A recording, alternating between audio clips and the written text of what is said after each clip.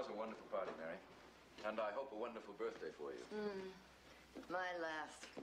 I'm tired of living. I'm going to stop. Fiddlesticks. You know you're planning something special for tomorrow. You told me so yourself. Yes, I remember. I remember. But I won't see you. Kiss me goodbye, Ralph. Mary, good night. Sleep well. No, on my mouth.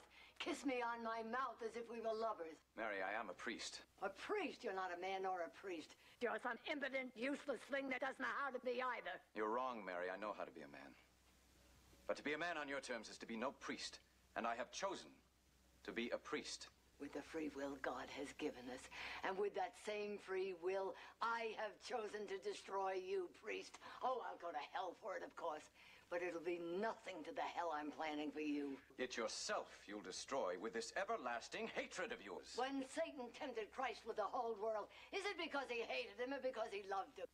You don't love me. I have always loved you. So much so I would have killed you for not wanting me. But I, I found a better method. No, not love. I'm the goad of your old age, that's all.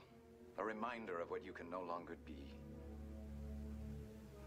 Let me tell you something, Cardinal de Bricassart, about old age and about that God of yours. That vengeful God who ruins our bodies and leaves us with only enough wit for regret. Inside this stupid body, I am still young. I still feel. I still want.